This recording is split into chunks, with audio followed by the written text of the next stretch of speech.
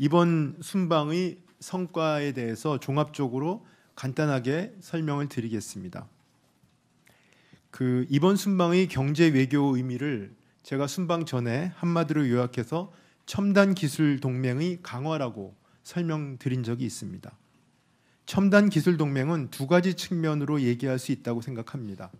하나는 friend shoring을 통한 공급망 동맹입니다. 첨단 기술은 국가와 산업의 경쟁력에 대한 핵심적인 원천이면서 경제 안보 측면에서 보면 핵심 전략 자산이라고 할 수 있습니다. 따라서 첨단 기술 동맹은 이러한 전략 자산을 양국이 함께 개발하고 활용하고 함께 지키자는 것입니다. 미국은 원천 기술과 설계 강국이며 그다음에 우리나라는 첨단 제조 강국이므로 양국의 강점을 바탕으로 반도체, 2차 전지, 전기차 등 첨단 산업 분야에서 정부와 정부 간 또는 민간 간 공급망 협력을 강화하는 것이 그 내용입니다. 그래서 이번에 그 순방에서는 미국의 인플레이션 감축법, 그다음에 반도체 과학법, 반도체 수출 통제 등의 이행 과정에서 우리나라와 미국이 공급망 동맹이기 때문에 그 바이든 대통령이 한국 기업에 대해서 특별한 지원과 배려를 약속한 바 있습니다. 또한 양국 간 정부에서 정부 간에는 반도체 공급망 연구 개발 협력을 강화 강화하기로 협의 어, 합의했습니다. 또한 민간 간 그 공급망 협력의 예로서는 삼성 SDI와 GM, 그다음에 SK 온과 현대차와 같이 그 미국 내 합작 배터리 공장 건설 계획을 발표를 했습니다. 그래서 이는 우리 전기차 배터리 업체의 북미 지역 공급망을 강화해 나가고 있습니다. 또한 한미 비즈니스 라운드 테이블이라든지 한미 첨단 산업 포럼에서 우리가 확인되었듯이 이미 양국 기업들은 첨단 산업의 모든 분야에서 상호 연계된 공급망을 구축하고 있으며 정부는 이를 적극 지원할 계획입니다. 첨단 기술 동맹의 두 번째 측면은 첨단 과학 기술 동맹입니다. 한미 동맹은 가치 동맹입니다. 가치 동맹이므로 미래로 가는 동맹입니다.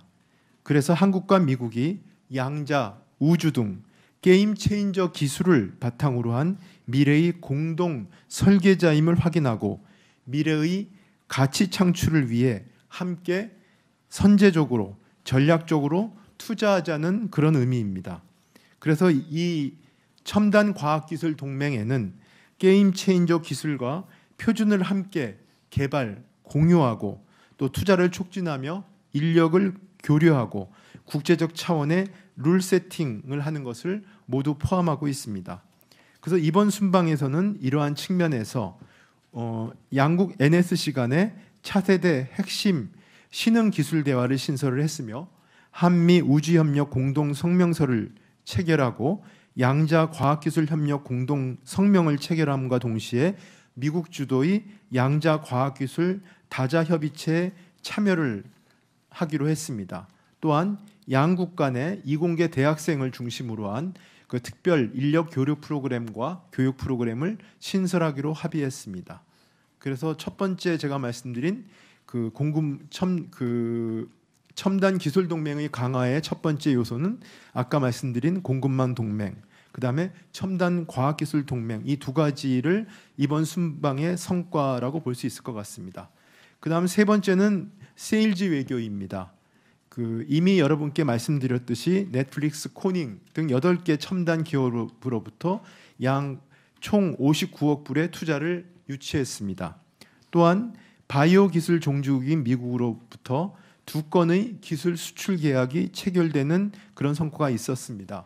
4월 25일에는 D&D 파마텍이 미국의 맷세라사와 최대 5,500억 원 규모의 당뇨, 비만 경구용 치료제 기술 이전 계약을 체결하였으며 오늘 대웅제약은 오디텀 바이오사와 신약 후보 물질 기술 수출 계약을 체결합니다. 또한 윤 대통령은 대한민국 1호 영업사원으로서 그 이번 순방에 그 120명이 넘는 경제 사절단을 동행했습니다. 그래서 총 50건의 MOU를 체결하거나 그 다음에 아직은 순방이 안 끝났기 때문에 체결할 예정입니다.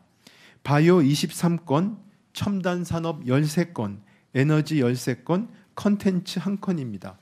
이번에 체결된 MOU의 절반에 가까운 23건이 바이오 분야로서 R&D는 물론 의료기기, 디지털 헬스 등 의료 신산업 분야로 협력이 확대되고 있습니다.